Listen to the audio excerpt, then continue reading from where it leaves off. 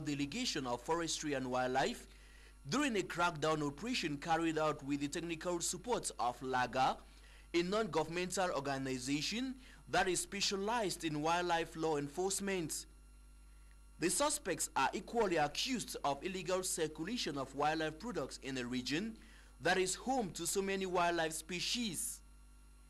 Conservation experts say the illegal trade in protected wildlife is threatening their survival.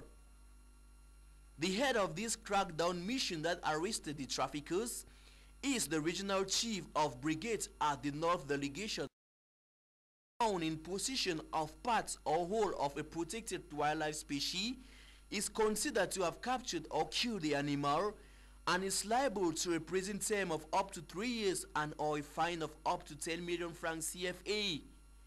Beware and be warned, don't be a victim. Ignorance of the law is not an excuse.